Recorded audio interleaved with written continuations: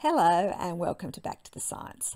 I'm Dr. Susan Oliver and I'm a scientist and this is Julie Oliver and she's a science dog. In this video we're going to be debunking the latest anti-vaxxer nonsense which is centred around a paper about spike protein and DNA from two scientists working in Sweden. We'll be showing that the conclusions of the paper aren't supported by the data they present and that the claims being made by anti-vaxxers aren't even supported by the paper's conclusions. But before we go back to the science, I would like to say that I think spike protein suffers from an image problem based on its name. Spike sounds pretty scary, right? If they had called it binding protein or something else benign, I'm sure no one would be as scared. But I digress. Let's have a look at the paper. So the paper is called SARS-CoV-2 spike impairs DNA repair and inhibits VDJ recombination in vitro, and it is part of a special issue on SARS-CoV-2 host cell interactions in a journal called Viruses. Interestingly, everyone is referring to the paper as the Swedish paper, which I think is meant to give it more credibility. Not exactly sure why, but hey, Sweden was responsible for ABBA. And I was a huge ABBA fan when I was a kid. Luckily for you guys, copyright laws prevent me from bursting into song right now. Anyway, at the time I recorded this video, the paper had been viewed nearly 200,000 times, and it's safe to say that the majority of people viewing it didn't understand it at all. And that includes two YouTubers who each have over 1 million views on the videos they made about it.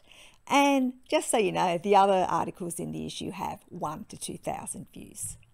Now, there are so many things wrong with this paper that it's hard to know where to start, but I'm going to start with what's the most egregious thing. This figure is part of a larger figure from the paper, and it is a main part of the evidence that forms the premise of the paper, which is that spike protein gets into the nucleus of cells. They use fluorescent markers to identify the spike protein and the cell nucleus. The green you can see in the image at the top is a spike protein, and then in the picture underneath, this has been overlaid with the nucleus, which appears in blue. Now, there is definitely some overlap, so it does appear that the spike protein has got into the nucleus, although it seems to be more around the edges. Now, they also looked at a bunch of other SARS CoV 2 proteins and they also got into the nucleus. And they mentioned that their results here were consistent with the findings of a previous study that also showed that these proteins went into the nucleus. So I decided to take a look at this study and I was shocked because the other study also investigated whether the spike protein went into the nucleus and they found that it didn't. So these are the images from the other paper, and it's pretty clear that the spike protein is completely outside of the nucleus. You can see the blue circle is completely inside the green spike protein. So the authors of the Swedish paper knew that another study had found the exact opposite results to them, but they didn't even mention it. This is what is known as deception by omission. The authors are trying to imply that their study, which was done in embryonic kidney cells, is somehow relevant to completely different cells in the human body when they know for a fact that other scientists have shown that it doesn't happen in another cell line. By the way, another YouTuber who reviewed this study claimed that the cells used had been modified to resemble B and T cells. This is simply not true, and I have no idea why he would even think it. The authors of the paper certainly don't claim it. Anyway, I thought I'd have a look to see if any other studies had looked at whether spike protein goes into the nucleus or not. And I found this one. Guess what? It also found that the spike protein doesn't enter the nucleus. And it's worth mentioning that both the papers that found that spike protein didn't enter the nucleus are in much higher quality journals than the Swedish study. So the Swedish study has results that directly conflict with the findings of two previous studies, and the authors haven't even mentioned this, and the so called expert peer reviewers haven't picked it up either. But that's not the only flaw in the paper. The way they get the spike protein into the cell in the first place is by transfecting it with a plasmid. The plasmid is basically a small circular DNA molecule that goes into the cell nucleus and gets it to make bucket loads of spike protein. Now, this is a reasonably common research technique, but it is not what happens when you are infected with SARS CoV 2 or when you are vaccinated.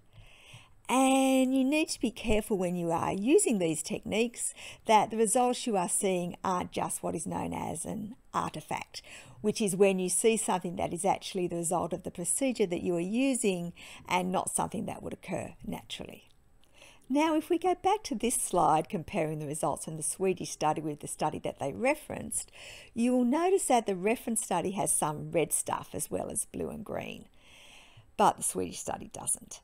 The red actually represents proteins that are naturally present in the cells, and these serve as a control because if a protein does end up in the nucleus, you need to make sure it ended up there naturally and not because your experimental technique has made the nucleus more likely to take up proteins. But the Swedish study didn't include this important control, so we don't know whether they are just seeing an artifact. And this same issue of not using appropriate controls occurs again and again in this paper. I won't bore you with every one of them, but I will show you one that is particularly relevant to the overall claim of the paper, and that is an assay that purports to show that spike protein hinders DNA repair. The assay is called a COMET assay and it is a simple method for measuring breaks in DNA strands. To check how well a cell repairs DNA damage, what you do is you treat your cells with something that causes DNA damage and then remove the damaging agent and use the COMET assay to see what happens to the cells over time. And these little red blobs show the results of this assay for the Swedish study. What they did was looked at three different ways of damaging DNA gamma radiation, doxorubicin, which is a drug used in chemotherapy, and hydrogen peroxide, which some people use to bleach their hair, not me, but it's also a well known oxidizing agent. They then compared cells that have been transfected with full length spike protein with cells that had been transfected with shorter bits of spike protein and cells that had been transfected with empty plasmids. So if there is no DNA damage, you get nice round dots like the pictures at the top. But if there is damage, you will get a tail that looks a bit like a comet, hence the name of the assay. Now you can see that whether or not there was any protein put into the nucleus, the DNA was still damaged. And that's not surprising. To quantify the damage, image software is used to measure the length of the tails, and the results can be seen in this graph. Now, the graph shows that there is more damage to the DNA of the cells transfected with full length spike protein than to the cells transfected with shorter spike protein or empty plasmids. But what we don't know is if this is actually biologically significant because the difference is only about 25%. And one of the reasons we don't know is because they haven't used a positive control. A positive control is a substance that is known to produce the effect that you are looking for. So in this case, it would be something that is known to stop DNA repair. If they'd run a positive control and the result was about 400, for instance, it would mean that this result was meaningless. But if the result was about 100, this result could mean something. But they didn't do it, so we don't know.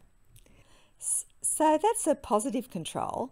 The other thing they haven't done is a proper negative control. They've looked at an empty plasmid, but they haven't looked at naked cells with no plasmid at all. And that's a problem because the plasmid itself could be hindering DNA repair, and the spike protein could just be making the problem caused by the plasmid worse. The other key claim being made by the Swedish study is that the spike protein inhibits VDJ recombination. Now, VDJ recombination is a process that occurs in the bone marrow and the thymus, and it is used to generate a huge library of antibodies that are ready and waiting to be deployed if a suitable pathogen turns up in the body. It's a bit more complicated than that, but that's the gist of it. The important thing to know, though, is that this process doesn't happen in response to an infection. It is occurring all the time. So, even if the spike protein did inhibit it, it would be irrelevant. And of course, there is no evidence whatsoever that spike even enters the bone marrow or the thymus. So, this paper is basically drawing a number of conclusions that aren't supported by the data. But anti vaxxers are taking it to a whole new level by drawing conclusions that aren't even being made by the authors of the paper. According to anti vaxxers, this paper means that COVID vaccines are going to cause cancer. Now, let's ignore all the flaws in the paper for a minute and assume that spike protein really can inhibit DNA repair. that would mean you need to be getting vaccinated ASAP because the amount of spike protein produced by infection with SARS CoV 2 is several orders of magnitude higher than what is produced by vaccination. And it can spread to all organs of the body, as well as the lungs. SARS CoV 2 has been found in the heart, the brain, the spinal fluid, the kidneys, the GI tract, and the testes. COVID vaccines are injected into the deltoid muscle and the amount delivered is finite because, unlike viruses, they don't replicate. The amount that gets into circulation is so small that they had to develop special assays to even detect it. So, if you know any of the millions of people who have been sucked in by the misinformation that is circulating based on this paper, please share this video with them. Now you'll find the links to the studies I've referenced in the video's description. And please remember this video is about the science, but you shouldn't take it as medical advice. For that, you should speak to your medical practitioner. Thank you for listening, and if you'd like to see more videos about the science in the future, please hit the subscribe button.